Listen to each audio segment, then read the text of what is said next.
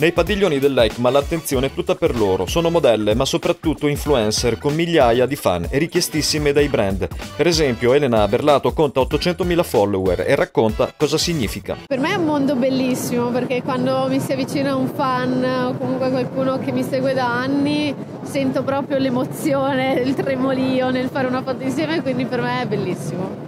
Si aprono nuove professioni anche. Sì, sì, esatto, dopo da, da cosa nasce cosa, insomma.